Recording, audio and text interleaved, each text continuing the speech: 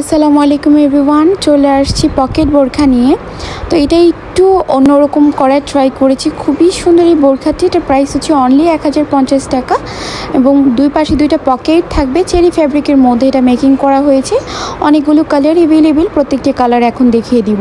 এই হচ্ছে স্লিপসের পোর্শনটা হবে এবং এটার স্লিপসটা হচ্ছে কফাদার হবে এবং বুকের যে, বুকের থেকে শুরু করে নিচ পর্যন্ত তিনটা তিনটা করে অনেকগুলো করে বাটন সিস্টেম করা থাকবে। ঘের হচ্ছে একশো বিশ ইঞ্চ কোমরের ফিতা আছে।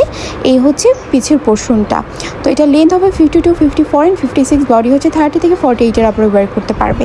এরপরে যে কালারটি নিয়ে আসছে, এটা হচ্ছে ডিপ মারুন কালার মেরুন কালারের সাথে ম্যাচিং করে আমরা স্লিপসের পোর্শনটাও ওরকমভাবে দিয়েছি।